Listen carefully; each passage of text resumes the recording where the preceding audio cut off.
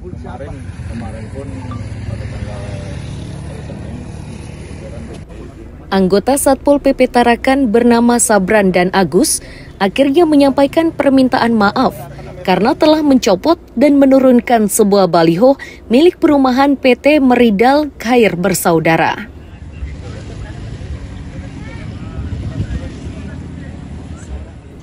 Satpol PP ini mengaku mencopot baliho tersebut atas arahan pengawal pribadi penjabat wali kota yang kala itu melakukan kunjungan kerja di lokasi tersebut. ya.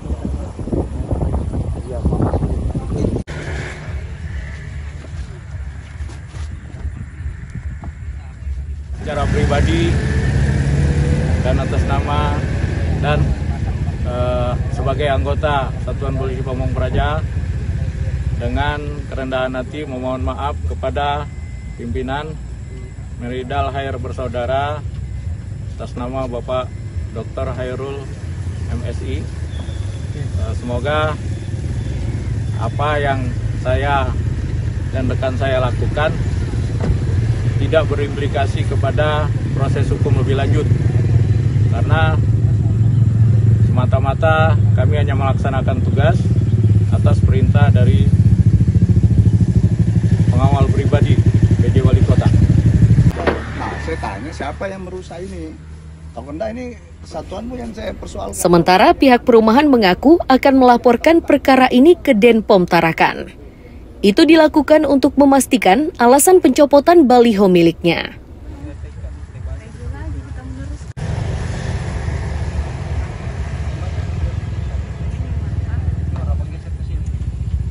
Saya sebagai pemegang saham dari perumahan Gria Oke itu dari PT Meridal Kair Saudara.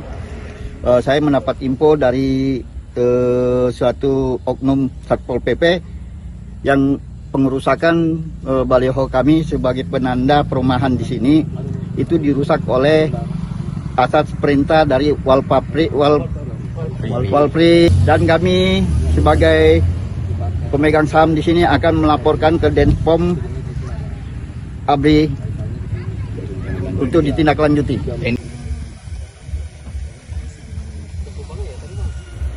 Sedangkan penjabat wali kota Bustan membantah soal perintah pencopotan baliho tersebut.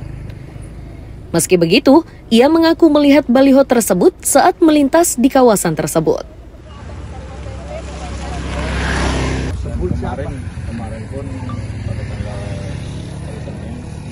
Ini terkait dengan saya rasa penurunan baliho tanpa ada arahan dan perintah saya. Supir saya jelas ya tidak ada. Saya keluar. Saya memang berpikir setelah saya lihat ke kiri kembali ada baliho hilang. Ini dugaan insting saya aja pasti akan terjadi kegaduhan. Ya, itu saja. Saya saya rasa saya mau komen saya bekerja apa adanya tidak ada hal-hal yang mau bersinggung atas pengerusakan pengerusakan. Baliho yang dicopot oleh kedua Satpol PP itu kini sudah terpasang. Namun pemiliknya masih belum puas dan masih akan mengusut perkara ini. Mustafa melaporkan dari Tarakan, Kalimantan Utara.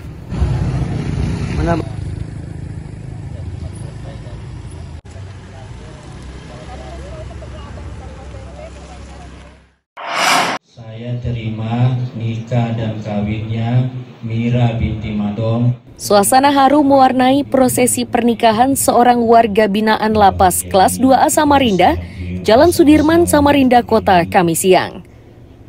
Prosesi sakral ini disaksikan kerabat dan pejabat lapas.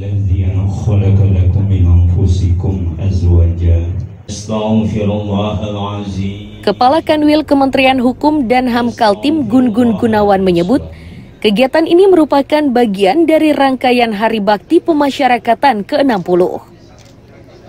Nikah masal yang diberikan kepada warga binaan ini merupakan bagian dari pembinaan. Itu dimaksudkan agar warga binaan ini memiliki legalitas yang sah secara negara terkait pernikahannya. Ya, iya suaminya. Eh, posisinya masih tetap. Alhamdulillah sudah jadi suami istri yang ya. Uh, pagi ini kita melaksanakan dua rangkaian Hari Bakti Pemasyarakatan yang ke-60. Tadi sudah uh, tabur bunga di Taman Makam Pahlawan dan hari ini dipusatkan di lapas kelas 2 Samarinda diadakan acara nikah isbat massal dan nikah massal. Dirangkaikan dengan sunatan massal di lapas Tenggarong. Tadi kita laksanakan secara langsung dan secara Zoom. Artinya yang pertama adalah kita berusaha sebagai perwakilan daripada negara hadir di tengah-tengah masyarakat bagi masyarakat warga binaan tidak saja memperhatikan hak-hak yang biasa secara rutin yaitu makannya kesehatan dan hak integrasi tapi kita juga berupaya hadir untuk memenuhi hak-haknya mereka secara aklamasi secara administrasi uh, pemerintah secara hukum sah mempunyai buku nikah sah. Yang selama ini masih banyak belum paham masih nikah siri yang belum terdaftar di negara. Kita fasilitasi itu.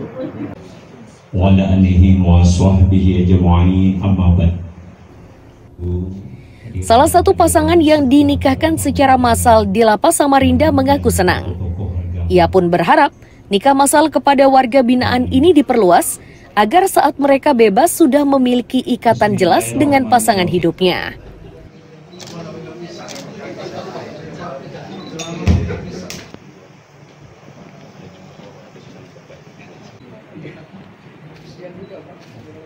melalui daripada LP kelas 2 Samarinda supaya bisa diadakan lebih eh, maju lagi ke depannya.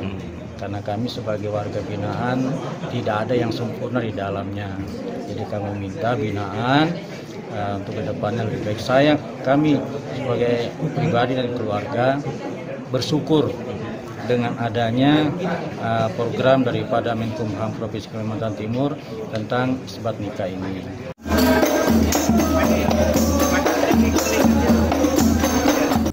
Meski sudah dinyatakan sah sebagai suami istri, namun pasangan ini belum bisa berkumpul. Tercatat sebanyak 14 pasangan yang menikah secara massal di lapas dan rutan sekalimantan Timur. Iswanto melaporkan dari Samarinda.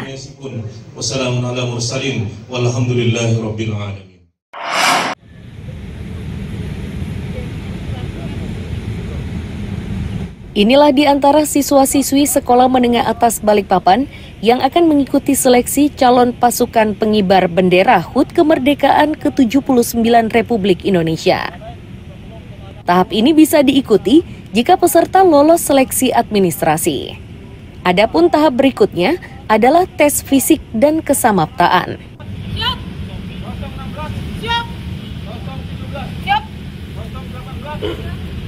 Kepala Badan Kesbangpol Sutadi menyatakan saat awal jumlahnya 319 pelajar. Namun hanya 254 orang yang mengirim berkas lengkap. Dari jumlah tersebut, tersisa 98 pelajar yang melanjutkan ke tahap berikutnya.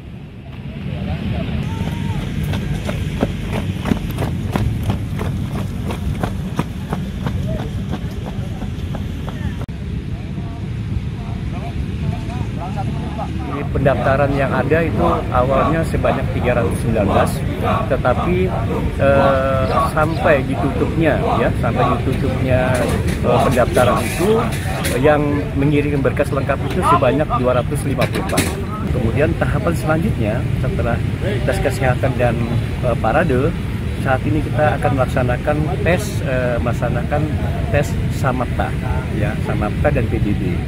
Nah, tes Samapta PBB ini tidak ada sisi gugur, tapi kita ranking. Jadi Samapta PBB nanti kemudian dilanjut dengan uh, tes wawancara.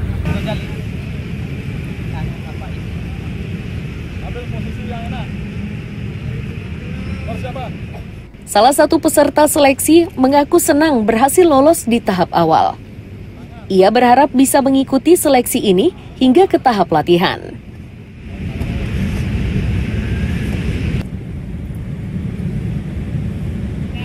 Belum pernah ini baru pertama kali ya. Siap. Perasaannya bagaimana?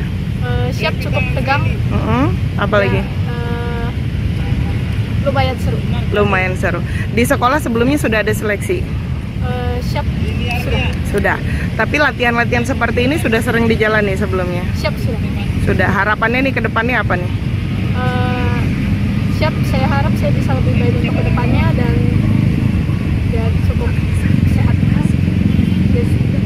Saya, uh-uh. saya harap saya lolos di Lolos ya. Oh.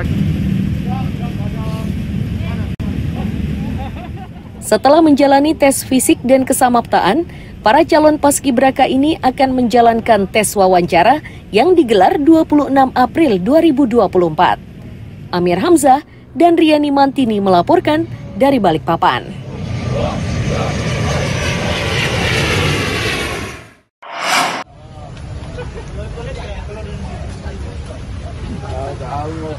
Bersama sejumlah anggota tim suksesnya, Khairul Wali Kota Tarakan periode 2019-2024 ini kami siang mendatangi Sekretariat Partai Demokrat di Jalan Yosudarso. Itu ia lakukan saat mengembalikan formulir pendaftaran penjaringan calon wali kota periode 2024-2029.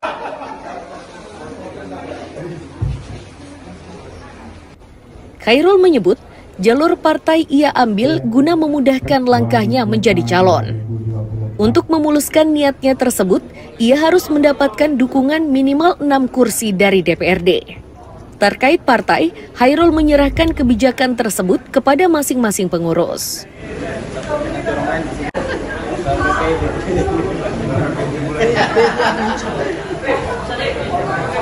Saya udah bilang kemarin itu sebenarnya kalau saya nggak ada target. Yang target sebenarnya kan kalau untuk memenuhi kursi minimal itu kan 6 kursi ya. Jadi itu dulu yang harus dicari 6 kursi. Ya selebihnya kawan-kawan yang lain kita terus komunikasi. Kalau alhamdulillah kalau teman-teman merasa chemistry-nya nyambung mau bergabung ya. Nah, kita sama-sama ke depan ya itu saya sangat terima kasih. Tapi saya nggak punya target yang muluk-muluk lah target saya cuma eh, bisa maju ya seperti dulu. Yang penting bisa maju gitu ya. Kan itu nanti yang menentukan kan masyarakat. Rekan-rekan media silakan diabadikan. Ketua DPC Partai Demokrat mengaku memiliki kedekatan dengan Khairul. Bahkan di pencalonannya terdahulu, Partai Demokratlah yang pertama mengusungnya. Kepada bakal calon wali kota 2024-2020.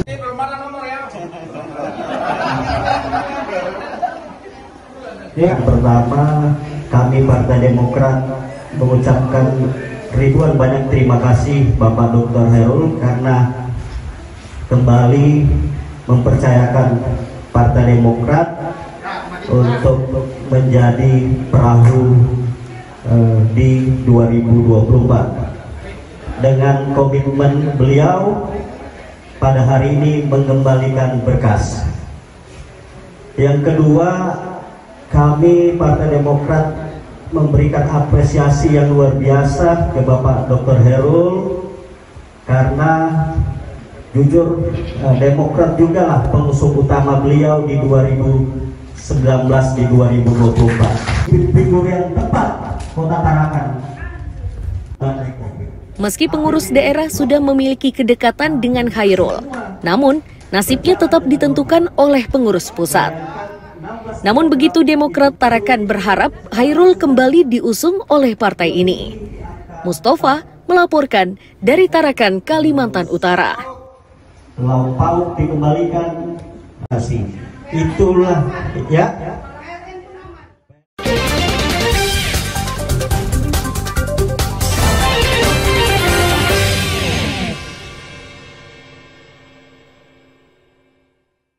Pemirsa demikian perjumpaan kita dalam berita Kaltim hari ini. Akhirnya saya Elvolia dan tim redaksi yang bertugas mengucapkan selamat pagi, selamat beraktivitas, sampai jumpa.